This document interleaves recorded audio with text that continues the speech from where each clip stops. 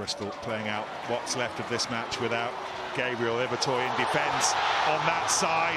And the great for Hazen, and he goes through the gap. Oh he's lost it. Oh my god he's lost it and it's brilliant from Tom Whiteley. If Bristol win for the first time in three months they can thank Tom Whiteley.